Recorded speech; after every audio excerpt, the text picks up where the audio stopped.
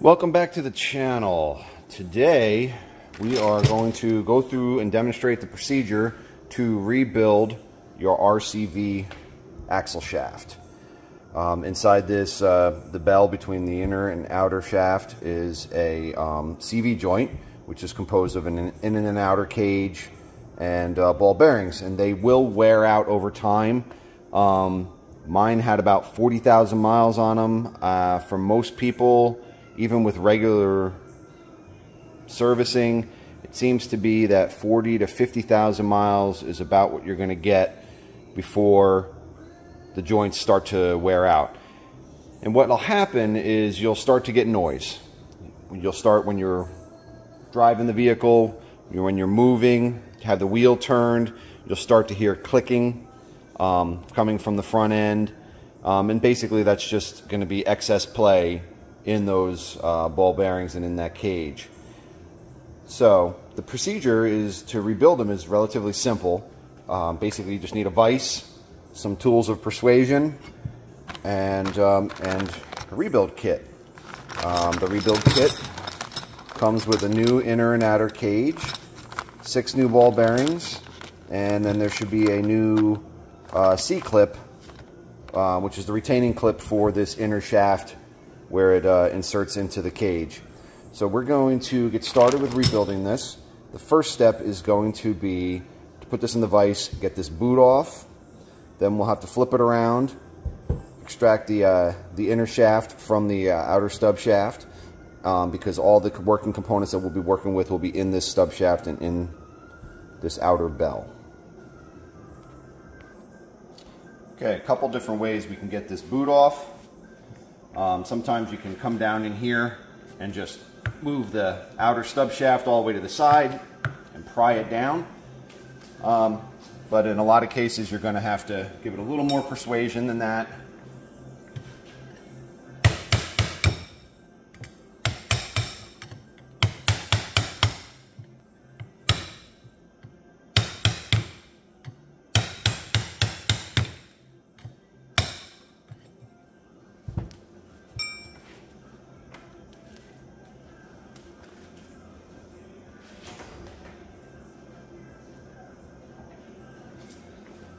There's a lot of suction in there, so you may have to just drive something in between there. There we go. Break that suction.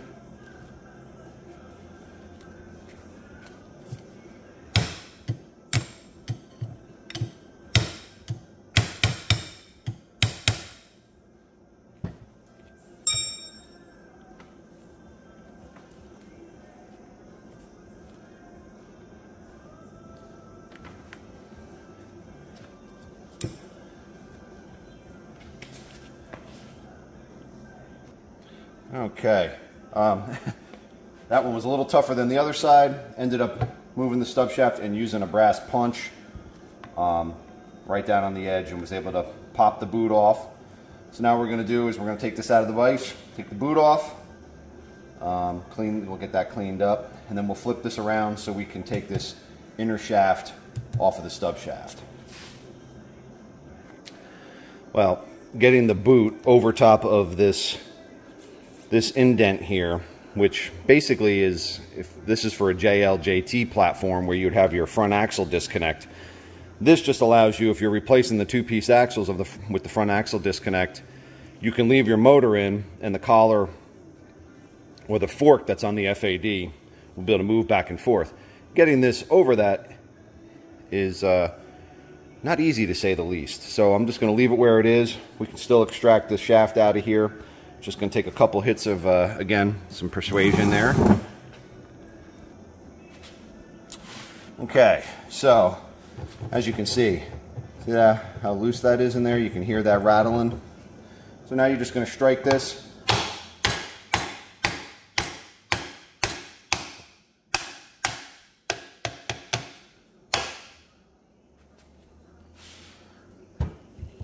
And what I'm striking on, obviously, is this, this inner cage that's going to be being replaced anyway. Okay, so now I'll take the inner shaft, get that out of the way so we can get the stub shaft in to get disassembled.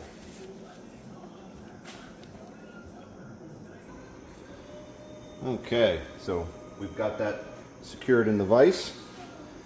Ah, so now what we're gonna do is you have to drive this race down on the opposite side of which ball bearing you want to take out and work your way from side to side. So we're going to put this on here.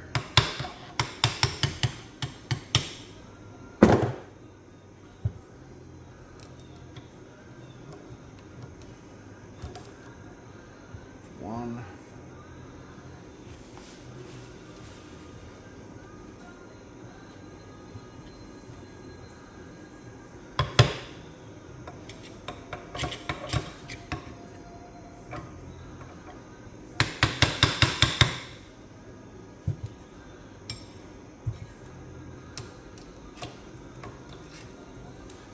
two.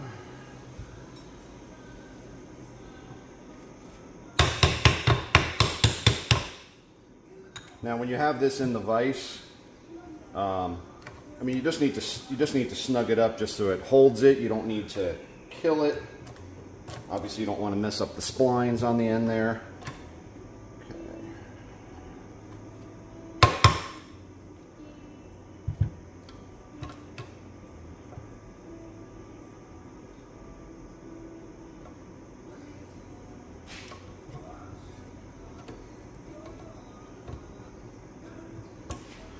that really We can pop this out. And then what you got to do is you rotate it until you get these spaces to line up in between two of the holes and then the whole unit will come right out. Now at this point, it's just going to be reassembly.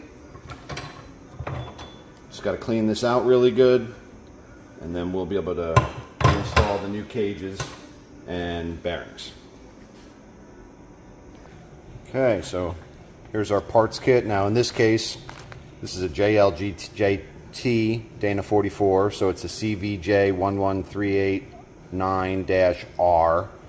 Um, they are different ones. Here's your C-clip for the retaining clip for the inner axle shaft, your six new bearings, and you have your inner and outer cage.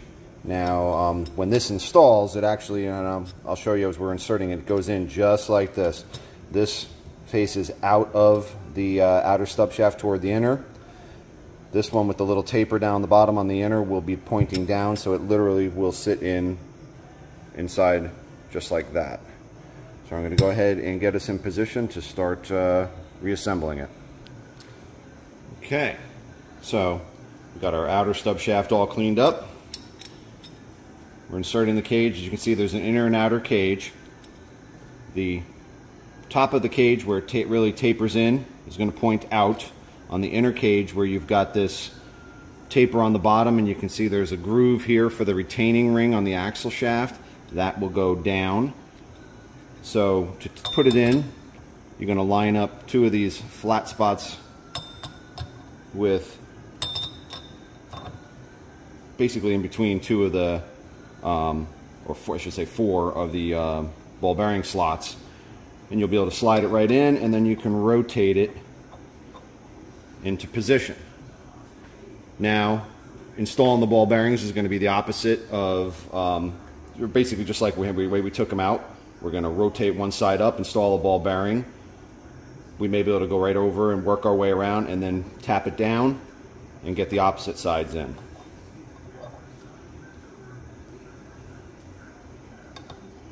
That one in there.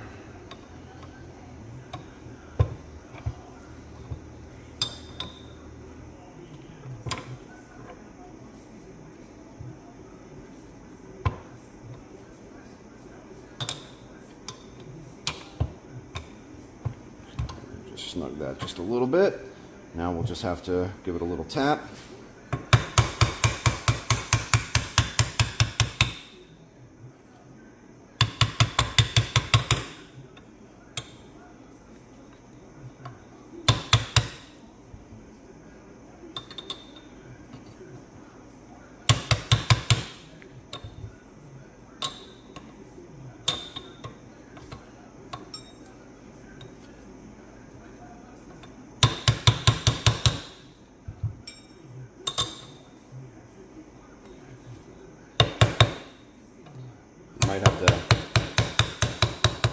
Tap the ball bearing.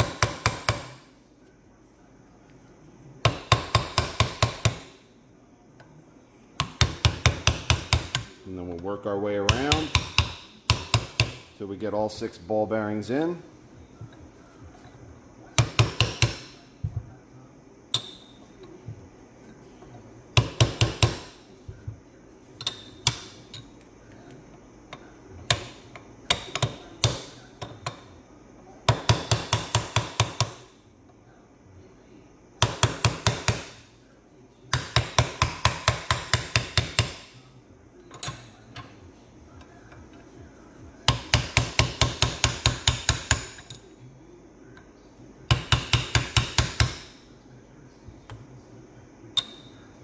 Now the, the tapping we're doing is, you know, we not have to kill it. Um, if you really have to hammer hard on it, then probably something is probably bent or just really worn and locked up. But as you can see, I'm really just tapping. And that is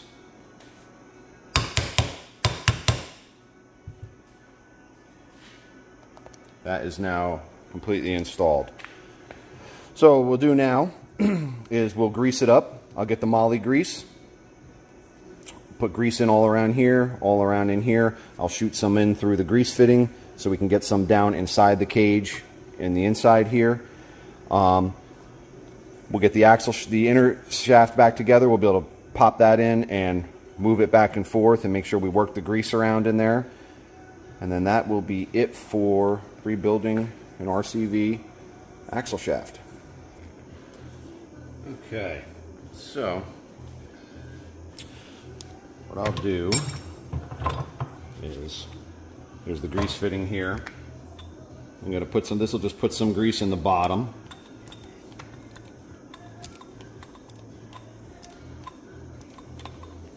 As you can see, that just got some down into the center that I'll work into the bottom of the of the race and cage there. We'll put this back in the vise. And then I'll just come around here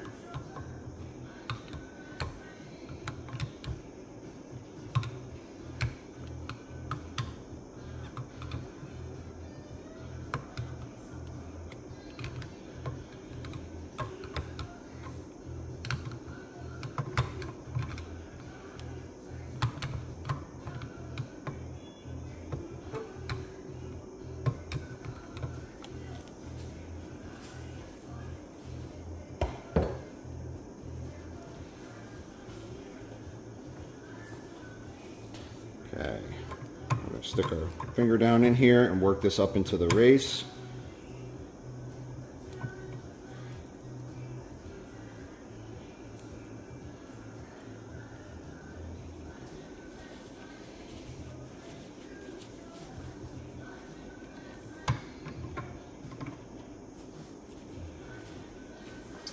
Now with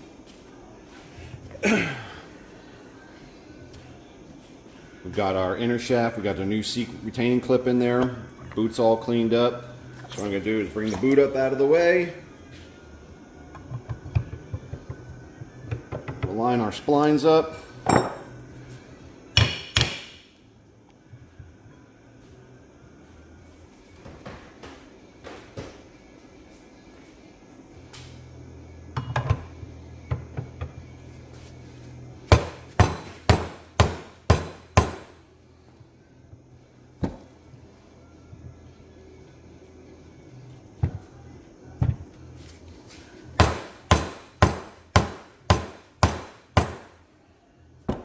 Go. Now as you can see we can move this around but I got to get this axle shaft in.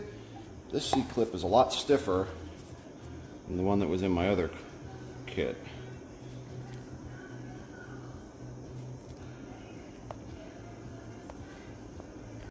Okay, just took a little bit more persuasion than I anticipated. And then as you can see now, we can use the leverage of that inner shaft to rotate that joint around, work that grease in there. Make sure all the ball joint ball bearings are lubed.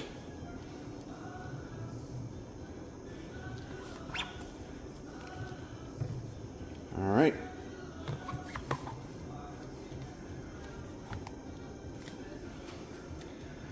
And that's it. That's all there is to rebuilding your RCV axle shafts. Now you can either reinstall put them away, however whatever you need to do. The boot will have to come off. That's on the shaft to go in. Um, it's going to take quite a bit to, we got to work it over this here. You're just going to put some lube on it and you might even have to tap it with the hammer and work it over. Um, not an easy thing to do, but unfortunately to get this in a JLJT, this boot has to come off because you have to put this inside the knuckle and then slide the axle shaft through it as you're putting it into the axle. But that completes the uh, rebuilding procedure for your RCV axle shafts. Um, we have all new uh, inner and outer cages, races, and um, ball bearings all in there. I hope this helps anyone that's going to do the same thing. If you have any comments or suggestions, please feel free to leave them below. Thank you very much for watching and have a great day.